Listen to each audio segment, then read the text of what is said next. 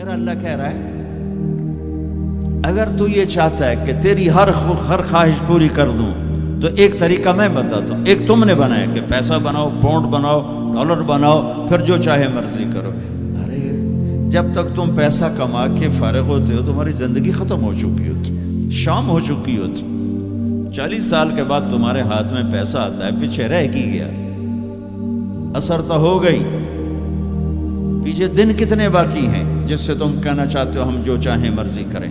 तो एक मे, एक मेरा अल्लाह बता रहा है फ़िन सल्लम तली फ़ीमा उरीद। मेरे बंदे ब्रेडफोर्ड में जो मैं कहूँ वो करता जा। लोगों को ना देखना लोग तुम्हें पागल नबियों को पागल कहा गया। मजनून। मेरे नबी को पागल कहा गया। साहिर काहिन इन नकल मजनून तो अगर तुम्हें दीवाना कहा गया तो कौन सी बड़ी बात है? लोगों ने हुसैन को सूली पे, नेज़ों पे चढ़ा दिया, यजीद को तख्त पे बिठा दिया। इंसानियत का क्या मैार है? मैार तो वह है जो अल्लाह कायम करेगा।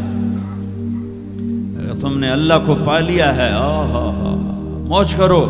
फ़ैन सल्लम तली फ़ीमा उरीद कफ़ी तो कफ़ी मा तुरीद। तू वो कर जो मैं कहता वो ना कर जो बाज़ार में हो रहा है, जो ब्रेडफोर्ड में हो रहा है, जो पाकिस्तान में हो रहा है, जो इंडिया में हो रहा है, जो अमेरिका में हो रहा है, वो कर जो तेरा अल्लाह कहता है।